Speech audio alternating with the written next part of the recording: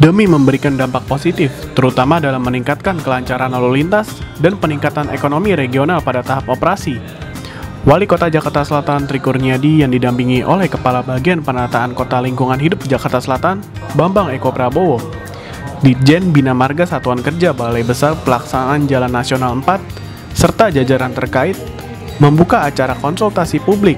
mengenai studi analisis mengenai dampak lingkungan atau AMDAL, pembangunan jalan nasional sejajar JOR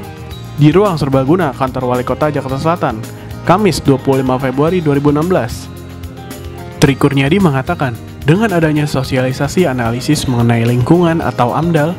pembangunan jalan nasional sejajar JOR ini diharapkan dapat meningkatkan daya kapasitas jalan nasional pada ruas tol JOR dan meningkatkan perekonomian di wilayah Jabodetabek. Bapak Ibu ada yang saya hormati, pembangunan jaringan jalan nasional sejajar JOR ini akan melewati beberapa wilayah Jakarta Selatan,